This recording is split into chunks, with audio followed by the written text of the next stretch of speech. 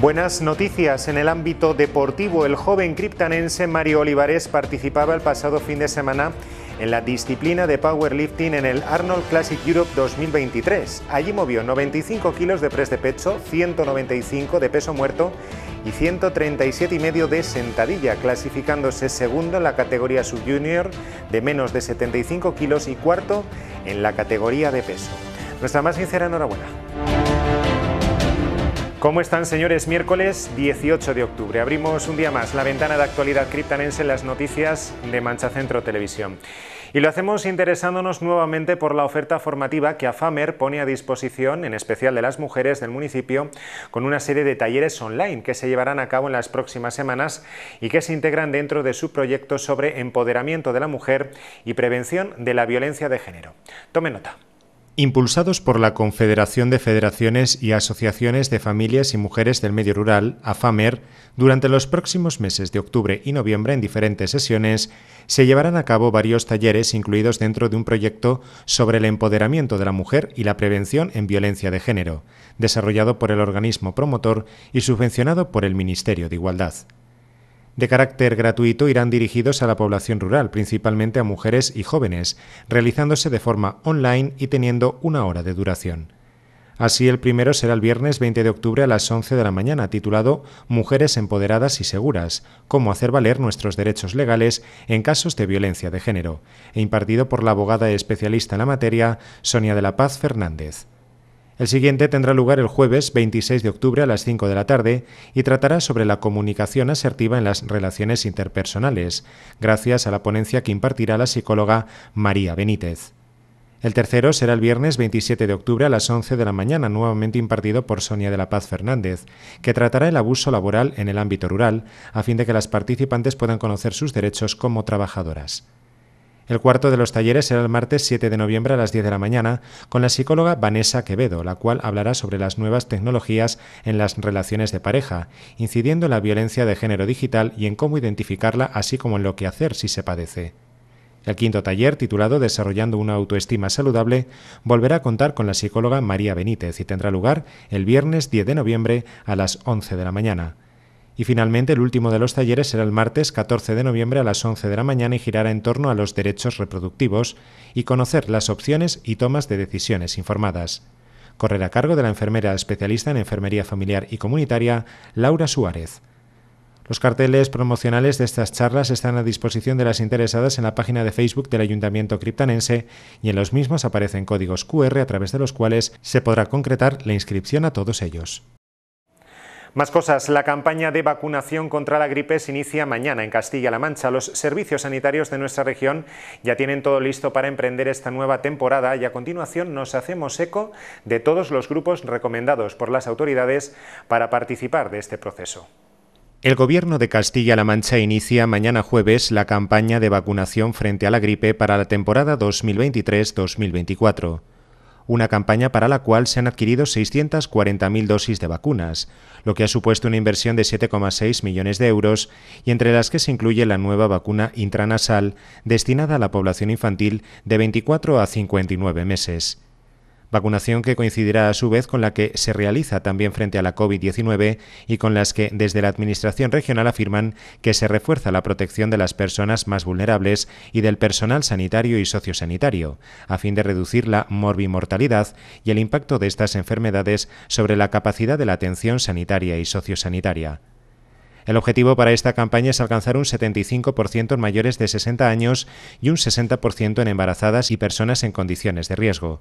Por ello hay preparadas 300.000 dosis para personas de entre 60 y 64 años, grupos de riesgos y niños de 6 a 23 meses, 300.000 dosis para personas mayores de 65 años y 40.000 dosis de vacuna intranasal para niños de entre 24 y 59 meses.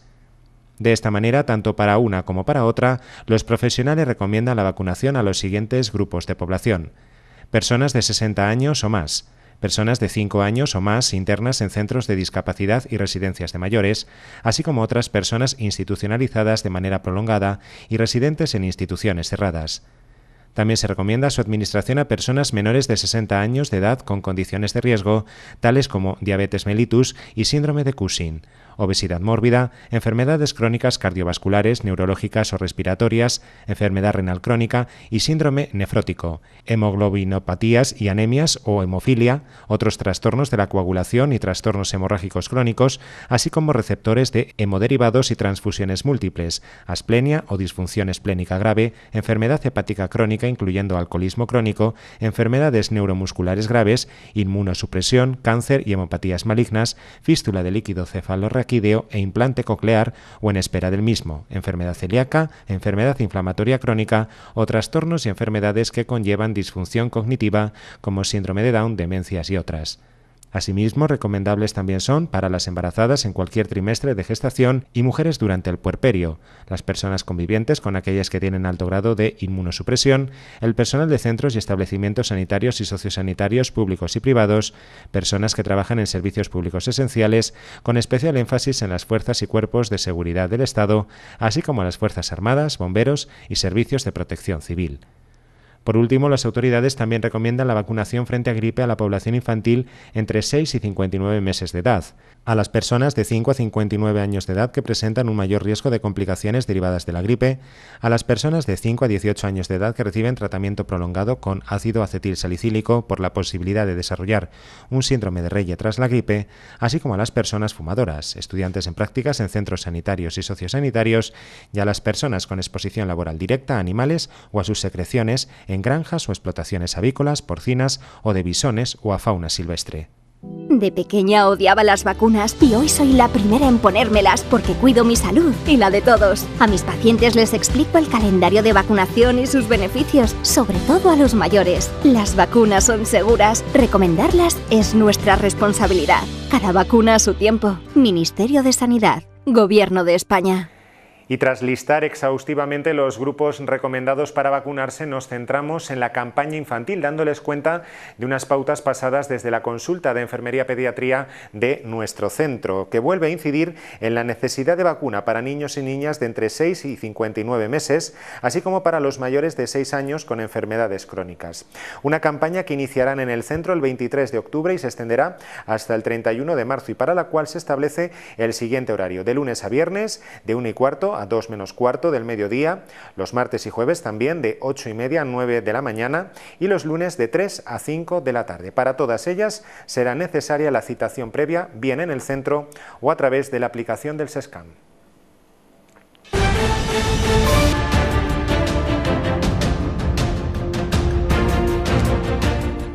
Angélica Ciudad celebraba por todo lo alto su 100 cumpleaños. Lo hacía ayer, rodeada de los compañeros y compañeras con quienes convive en la residencia de ancianos Sagrado Corazón. Toda una fiesta para los residentes que conmemoraron esta edad tan señalada y más después de todo lo vivido en los últimos años. La residencia de ancianos Sagrado Corazón se vestía de celebración con la fiesta de cumpleaños que organizaron a Angelina Ciudad López, quien cumplía 100 años y lo hacía rodeada de gran parte de los residentes, así como de la comunidad de religiosas de ancianos desamparados. La puertoyanense, que lleva en la residencia desde 2007, recibía las felicitaciones y cánticos de alegría por parte de sus compañeros y compañeras, que tras ello pudieron disfrutar de un delicioso trozo de tarta.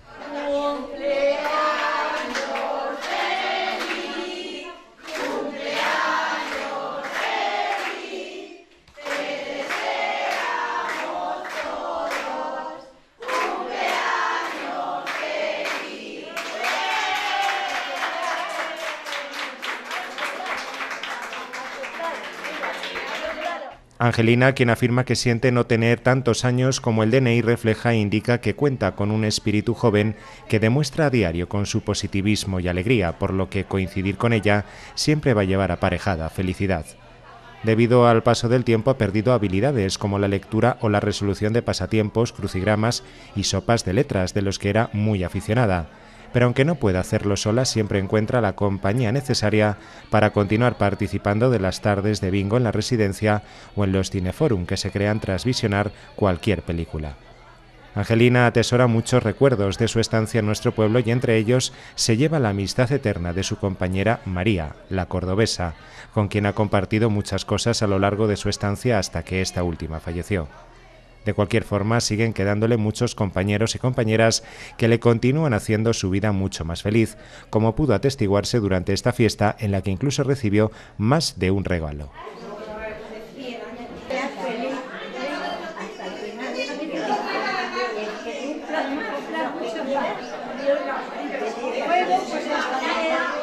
Es por ello por lo que solo nos queda desearle lo mejor a Angelina y que siga cumpliendo muchos más así de feliz.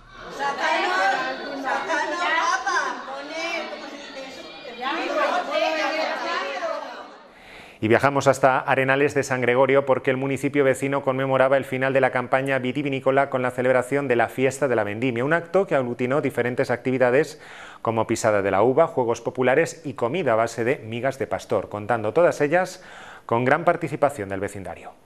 La Concejalía de Festejos y Tradiciones del Ayuntamiento de Arenales de San Gregorio celebraba el pasado fin de semana la Fiesta de la Vendimia 2023, el llamado Reventón, con el que conmemoraban la finalización de la campaña de recogida de la uva en la localidad. De esta manera, desde el Ayuntamiento y gracias a la participación de diversas asociaciones y hermandades de Arenales, se llevó a cabo una jornada intensa en la que se combinaron las tradiciones con la fiesta un día que comenzó con la pisada de uvas que se realizó en el auditorio de verano y en la que niños y jóvenes pudieron aprender más cosas sobre esta antigua tradición y cómo se realizaba la obtención del grado de la uva y del mosto. Ahí, está, así es como se hace. Porque la vais removiendo y aplastando. ¿Eh? Que la vas removiendo y aplastando. Claro, y se agarran, si eso se ha visto un montón de veces en la tele. Después, en el parque municipal se organizaron una serie de juegos tradicionales también para estos colectivos, con especial presencia del juego de la petanca que fue enseñado a todos aquellos que quisieron por Celestino Alberca y Vicente Cruz, miembros de la Asociación de Jubilados de la localidad.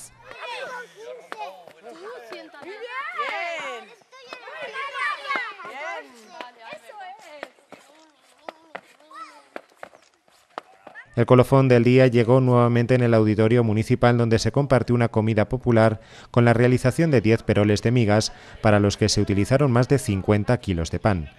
A este tradicional plato se sumó la carne, con 12 kilos de tocino, y para acompañar su degustación el melón y las uvas pusieron el toque dulce.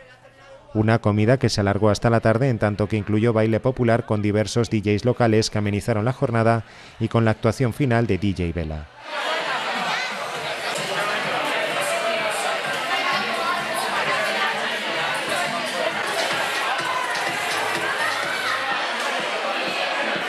Desde el consistorio arenalero valoraron muy positivamente la organización de este evento ya que supuso una vez más la implicación de gran parte del vecindario gracias a la colaboración de numerosos colectivos, previéndose la posibilidad de ampliar con más novedades relacionadas con el campo en futuras ediciones a celebrar en próximos años. Desde la organización quisieron desgranar los nombres de cada una de esas asociaciones o entidades de las que llegaron a sumarse hasta 14 y que respondieron al evento con la aportación de postres, cafés o diferentes cocinados. Este domingo se celebra el DOMUN, la Jornada Mundial de las Misiones. Es por ello por lo que desde el Grupo de Animación Misionera de nuestra parroquia se desarrollarán diversas actividades con los misioneros como protagonistas y con las colectas de las Eucaristías del fin de semana dirigidas a los proyectos que desarrollan por todo el mundo. Con el lema Corazones ardientes, pies en camino, las obras misionales pontificias celebran este domingo 22 de octubre la Jornada Mundial de las Misiones, el DOMUN el día en que de un modo especial la Iglesia Universal reza por los misioneros y misioneras de todo el mundo y colabora con los proyectos que llevan a cabo en sus respectivos lugares de misión. En esta ocasión, el vídeo promocional del DOMUN 2023 centra su atención en el crecimiento de la Iglesia en Benín, donde gracias a las obras misionales pontificias se han logrado muchos avances gracias a los casi 36 millones de dólares donados desde 1985. Durante este tiempo se han fundado cuatro de las diez diócesis del país, construyéndose 426 iglesias y capillas, 198 conventos o 497 edificios pastorales. A su vez, en este pequeño documental se destaca la labor del padre Saturnino Pasero, quien ha colaborado mucho por la evangelización de la zona y por la ayuda a los más necesitados. Es alguien enamorado de la misión, alguien que ha dado su vida durante más de 30 años o 40 en estas tierras de África, sobre todo en Benín, y alguien que, se ha esforzado hasta la última gota de, su sudor por, por, estar con esta gente, por darse. Para mí ha sido un ejemplo y, y una escuela. Ha sido un padre, ha sido un padrazo. Les ha cuidado como un padre que quiere. El Padre Satu es el Padre que me ha educado desde que soy niña. Él es muy bueno y simpático. Yo le digo muchas gracias por lo que ha hecho el Calalé. En nuestra parroquia, el grupo de animación misionera se prepara también para conmemorar el Domún y para ello ha previsto la realización de una vigilia de oración con presencia de misioneros que compartirán sus testimonios y que tendrá lugar este viernes 20 de octubre a partir de las 7 y cuarto de la tarde en la parroquia. Igualmente, la implicación de los voluntarios del grupo se hará presente en las misas de este fin de semana, cuyas colectas se destinarán a las misiones unas ayudas más que necesarias para seguir impulsando proyectos en todos los lugares de misión y sobre todo para luchar por una vida digna para esas poblaciones. Nadie tiene culpa de nacer donde nace, pero todo, todo, el mundo tenemos el derecho de tener una educación digna, una vida digna y un futuro digno. El DOMUN eh, llega a un nivel más fuerte, todo llega, y de una manera u otra. Y yo lo digo por experiencia, si no fuese por la ayuda que viene de España, nosotros haríamos muy poquita cosa. Así pues, no dejen de colaborar con las misiones y vivan plenamente la Jornada Mundial del DOMUN 2023. Más información en domun.es. Nada más, la actualidad seguirá presente a lo largo del día en nuestros diferentes espacios informativos y también pueden encontrarla en nuestro blog o canal de YouTube. Nosotros regresamos mañana con más cosas. Hasta entonces, que pasen buen día.